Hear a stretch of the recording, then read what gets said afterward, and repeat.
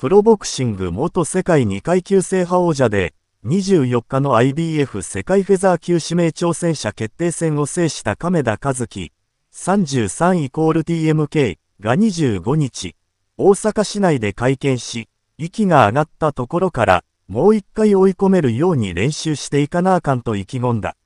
標的の IBF 王者アンジェロ・レオ、米国、とは21年秋に米国でスパーリング経験があり、パンチはあった。